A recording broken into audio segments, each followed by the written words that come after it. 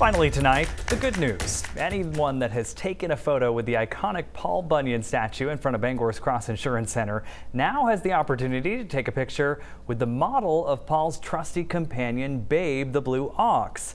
That's at the Bangor Public Library, though. The Paul Bunyan statue and Babe the Blue Ox model were both designed by J. Normand Martin from Madawaska. The Martin family has loaned the Babe model to the library to be on display for everyone to enjoy. And while the Babe model was never constructed into a statue like Paul, library visitors can enjoy seeing her reunited in cutout form.